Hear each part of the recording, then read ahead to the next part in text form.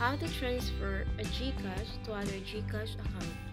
This video is for new beginner using GCash. First, login po tayo sa ating GCash. GCash apps.